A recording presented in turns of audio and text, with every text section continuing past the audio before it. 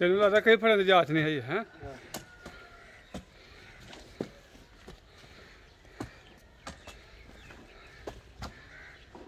ਅਸਾਂ ਤੂੰ ਨਹੀਂ ਕਈ ਫੜਨੀ? ਚਲੋ ਇਹ ਥੋੜੀ ਜਿਹੀ ਰਹਿ ਗਈ ਚਲੋ ਭਾਇਆ ਲਓ ਭਾਈ ਹੋਰ ਕੀ ਹੁੰਦਾ ਥੋੜੀ ਸਾਡੇ ਤੇ ਮਿੱਟੀ ਰਹਿ ਗਈ ਹੁਣ। ਨਾ ਸੋਟਾਂ ਥੋੜੀ ਸਾਫ਼ ਜਗ੍ਹਾ ਤੇ। ਉਹ ਤਾਂ ਉਹ ਆ ਗਿਆ ਜਹਾਜ਼। ਉਹ ਇੱਧਰ ਮਾਰ।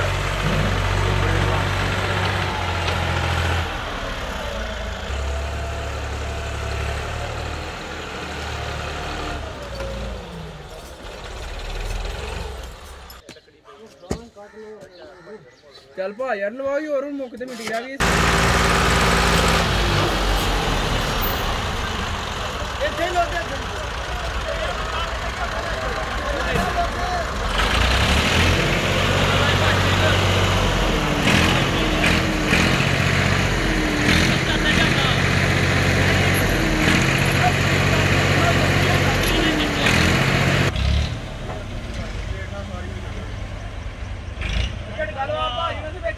ਝਟਕਾ।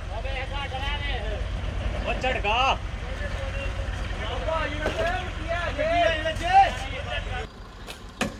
ਸ਼ਾਬਾ ਬਲਾਲ ਦੇ। ਇਹਦੇ ਪਲੇਟ ਕਰ ਲਾਂਗੇ ਕਰ ਲੈ ਬਈ ਯਾਰ ਤੈਨੂੰ ਹੋਰ ਕੋਈ ਕੰਮ?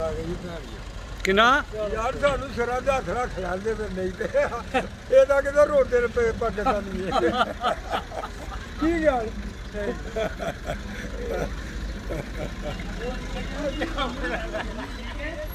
ਬਣਾ ਲਓ ਇਹਨਾਂ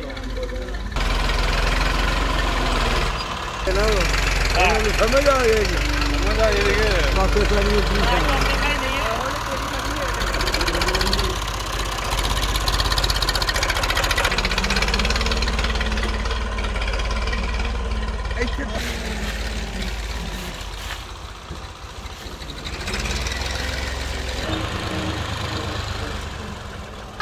ਕਿੰਨੇ ਦਾ ਵੇਚ ਆਇਆ?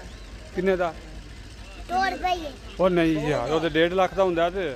ਨਹੀਂ ਉਹ ਆਪਣਾ ਇਹਨੇ ਅਸਲ ਜਿਹੜੀ ਗੱਲ ਹੈ ਨਾ ਇਹਨੇ ਬੋਲੇ ਤੁਹਾਡੇ ਦੇ ਬੂਆ ਉਹਨਾਂ ਨਾਲ ਦਾ ਠੀਕ ਹੈ ਨਾ? ਉਹਨੇ ਆਪਣੇ ਅਕਾਊਂਟ ਵੇਖੀਏ ਤੇ ਪੈਰ ਨਾਲ ਲਾ ਲਈ ਥੱਲੇ।